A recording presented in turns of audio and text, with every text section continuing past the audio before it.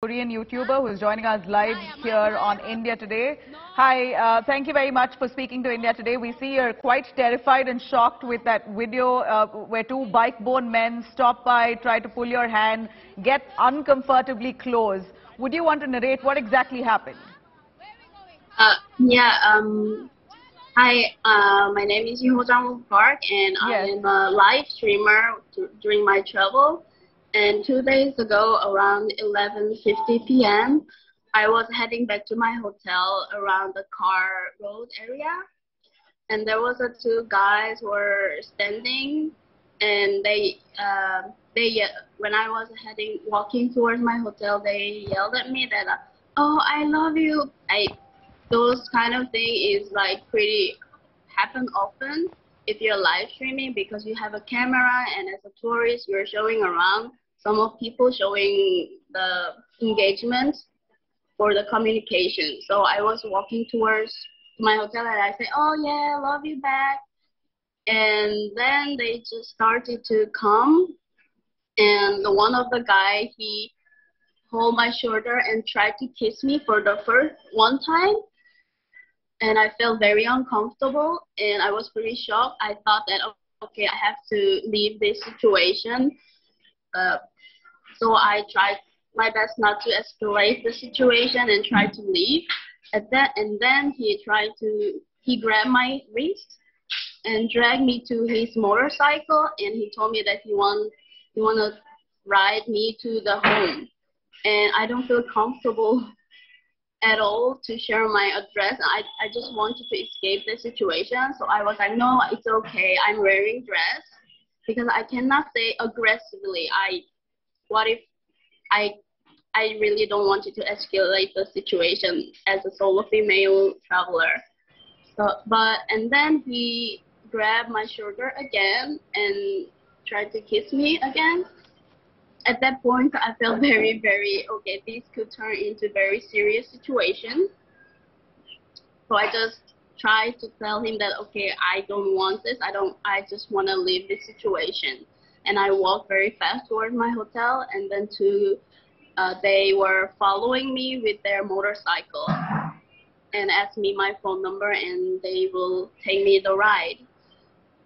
Yeah, and luckily there was a one. Um, my viewer of my live streaming at that time he was Yeah. watching my uh, broadcast and he actually came out from the bar because he was near here and he saved me You know, uh, Yeah, it- it's shocking for us. It's shocking. It's surely shocking. And that area where you were, where you were at, Khar in Mumbai, is quite a populated area. Did anyone at that point try to come and help you out? Did they see that you were struggling with these two men? Did someone come for your safety? yeah, actually i heard that Khar area is very uh, safe to go out as a female there's a lot of pub bar nice restaurant hmm to go out so i didn't really think that this will uh, turn into this type of incident yeah You know, uh, we're really sorry. Uh, we know you're a tourist. You uh, were expecting a lot more from the country, but the, the situation that we see that you have experienced is uh, certainly not isolated. There are instances like this that happen, um, and we're glad that you're safe at this point. At uh, what hour of the night did this happen? And when you tried to shrug off, uh, how far did these two men follow you? Uh, I couldn't. I, I couldn't What, hear what time of the night did this happen? What time was it when this incident took place? 11, around 11:50 p.m. Okay. A- And there were a lot of people around. Did anyone come for your rescue? Actually, there was a quite a lot of not a lot, some of people hanging on the street, Okay. but um, yeah, there was not a. There's no one help me on the street beside the one guy who were watching my stream because he Mhm. knew that this situation could turn into very serious. So Mhm. he immediately came out from the bar and he helped me out to. Yeah, he told them to just go away. And You I ran into my hotel after that. All right. We're, really glad you're safe, but I'd like to ask you, would you want to consider filing a police complaint? Because we heard the police say that you're uh, quite disturbed and not, not in a position or a state of mind to come and file a formal complaint. Would you want to take this up legally? Actually, I am planning to visit the police station soon because I got the call yesterday. No, this early morning around 2 a.m. that they got arrested and they want to send me female police officer so that I they can make the statement. But I was not feeling well. I was sick and I was sleeping. So I told them, can I do it tomorrow morning, which is today? Maybe after this interview, I'm gonna go to the police station. Sure, you must because uh, these, uh, you know, these kind of people shouldn't be let off easy. Uh, thankfully, you managed to escape. Your friend came by right in time and took you away. But we can only wonder what, how, at, to what extent these men could have gone.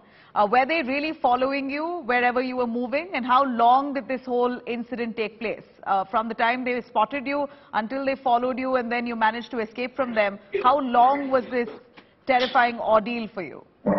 Well, they were following you the motorcycle and they are asking me to give my number. Mm -hmm. And I gave the fake number, which is not my number, because I I felt that if the best way to escape or leave that situation is tell them just give what they want, which is the number, but I didn't give my real number. And um, I don't really want to say that this will, this has the potential to turn into very bad incident. Yeah. I don't want to. Well, well it does. I mean, we, we've got to expect the worst. Uh, we, we, can't take something like this lightly, and this shouldn't be happening.